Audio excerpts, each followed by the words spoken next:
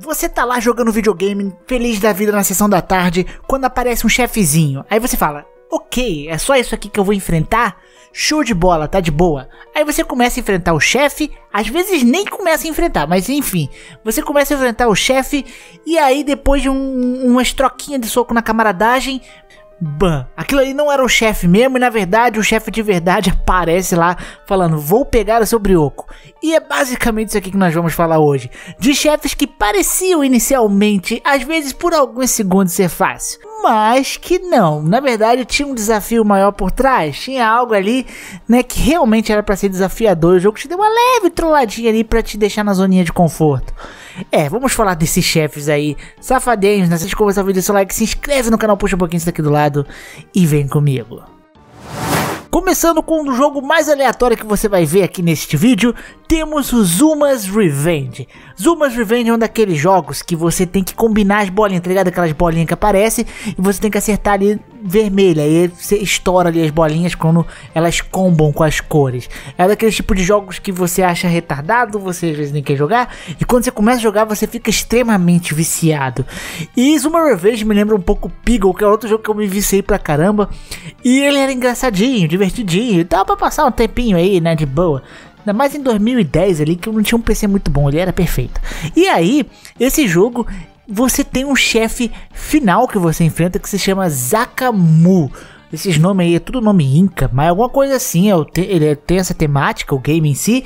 E você vai enfrentar este chefe. As lutas de chefes desse jogo, elas mudam dos levels padrão. Você tem uma linha com as bolinhas, né? Então você vai ter que, no, que combinar as cores para abrir espaço e assim você conseguir dar dano no chefe atirando nele com a bolinha.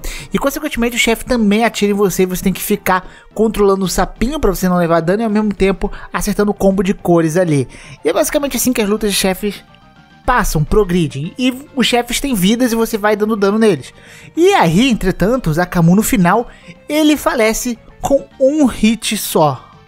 É, tipo, um hit. Você fala, ué, derrotei o último chefe, mano. Aí você fica, pô, só isso? Você derrota ele e ele fala: Não, você é muito poderoso. Eu me curvo à sua agilidade de anfíbio. E chega os créditos do jogo. Porém, né, os créditos logo em seguida são interrompidos e aparece o verdadeiro chefe falando sapo idiota.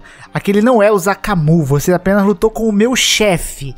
É, o chefe de cozinha dele era uma piadinha, talvez. Eu não sei porque chefe não é uma piada que funcionaria muito bem em português, cá entre nós. Ele é um bagulho bem pra ser nossa. Mas enfim, era só o chefe de cozinha do cara. E aí você vai enfrentar o verdadeiro chefe final, que é o verdadeiro Zakamu. E aí você tem uma luta de chefe digna, um último chefe de um jogo. É meio louco, né? Meio louco mesmo.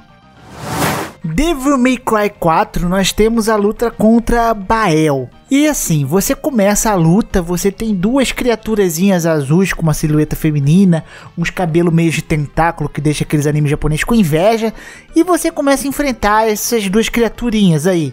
E tipo, você é estranha, tudo bem, tipo, tem bastante HP, até, mas elas não fazem nada, elas mal atacam você.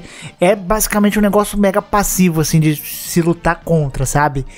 Aí, né, depois de você derrotar quase a primeira barrinha do chefe, você vê que é naquilo ali, aquela facilidade toda não ia perdurar para sempre e o verdadeiro chefe aparece naquela arena de gelo, que é o Bael, que é um sapão. E aí aquelas criaturinhas ali que você tá enfrentando, na verdade, elas são tipo a antena dele, que fica ali, tipo aqueles peixes que uma espécie de antena que ilumina, tá ligado? Então é tipo umas antenas que tem um formato disso que iluminam. Então você tava só enfrentando as anteninhas do chefe ali que não fazia nada.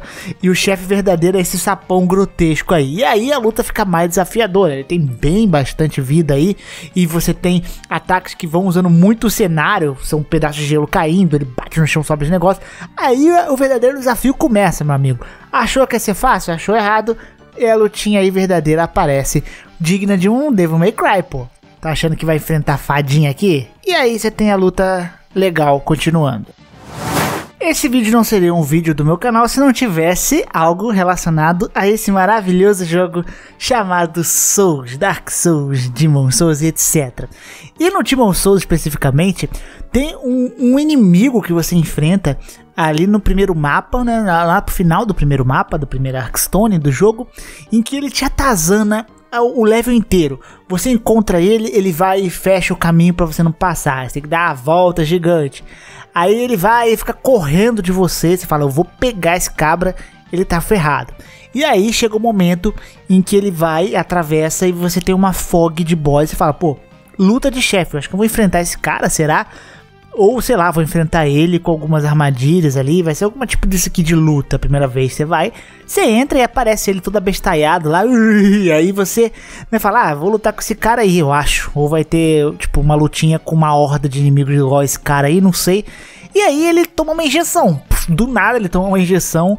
E aí aparece quem você vai passar mal de verdade, que é o chefe dessa área, que é o Penetrator, que inclusive usa o zanguinho aí, usa o ketchup do inimigo como imbuimento na sua arma, ela fica imbuída ali com ketchup, e aí você tem que lutar com esse cara que é bem difícil. O Penetrator é um dos chefes bem desafiadores de Demon Souls e deixa você aí com pouco espaço para esquiva em alguns casos. O golpe dele acerta ali bastante, quando acerta machuca bastante também. É, não era um monstrinho normal que o jogo ia te oferecer como uma lutinha xoxa, não, não ia ter isso não. Em God of War nós temos uma luta que trola mais ou menos duas vezes, te dando a impressão de que vai ser moleza. A primeira parte você tá andando ali de boa e do nada um ciclope quebra a parede, te ataca e aí você acha que você vai ter uma lutinha um pouco mais complicada com o ciclope ali, né, para alguns segundos depois ele ser devorado pelo chefe realmente, que é o basilisco, né? E aí você vai enfrentar o basilisco ali com a cabeça dele ali na porta, você vai dando dano nele. Só que, tipo, a luta parece fácil demais, sabe? Porque você vai atacando e o HP dele vai drenando igual água, vai descendo rapidinho. Você fala, ah, moleza, mané, moleza aqui. Você derrota ele, ele vai embora e aí você continua a fase. Pra logo em frente, né? Você tem que passar pelo mapa enfrentando inimigos, com o basilisco ali podendo te atazanar, você tendo que acertar ele. Pra aí lá mais pra frente você realmente vai enfrentar ele, onde você nem barra de HP tem. E aí você vai ter o verdadeiro desafio, a verdadeira luta épica contra esse chefe aí, né? Mais épica do que foi ali inicialmente. E aí você vê que é, realmente não era aquilo inicialmente que você achou que fosse. E pelo menos, né? Porque eu acho que ia ser uma luta muito fraca se fosse só ele com aquele HPzinho ali, bobinho de nada, né? Alguns jogos existem aqueles chefes que a gente chama chefe enche linguiça, que eles são às vezes um inimigo maior, um inimigo um pouquinho diferenciado, que tá ali meio que para fazer um volumezinho, não é nada marcante, só um pouquinho mais difícil que o comum, mas enfim, você derrota e esquece dele. E no Area of Sorrow, no Castlevania, eu achava que seria isso. Você entra numa sala, tem vários morceguinhos, eles se juntam para virar um morcego grande e falar: ah, ok, uma luta contra um morceguinho aqui. Pois é, uma mão gigante pega ele e aí revela um rosto com duas mãos enormes. E aí você tem o verdadeiro chefe desta parte, que é o Balori, onde você vai ter muito mais desafio aí, né? As mãos deles atacam o chão aí com uma área bem grande, então você precisa ter cuidado, que senão você vai tomar hit fácil, porque não é uma fase com muito espaço ali para você enfrentá-lo, né? E realmente essa luta te surpreende um pouquinho. Você achava que seria mais uma lutinha genérica com morceguinho, que você ia passar ok de boa, e aí você tem o chefão esmagando o morceguinho, você tem que lutar com ele, com esmagando o chefe que você lutaria. Então já dá pra ver que é mais forte que o comum, né? E aí você tem que lutar com ele, né? Feliz, tranquilo no esquilo. E meus queridos, esse aqui é o vídeo, espero que vocês tenham gostado. Se vocês gostaram, não se esqueça de deixar seu like, se inscrever no canal. Muito obrigado pela visualização. Grande beijo, grande abraço, fico por aqui, um beijo no popô. É nóis e fui!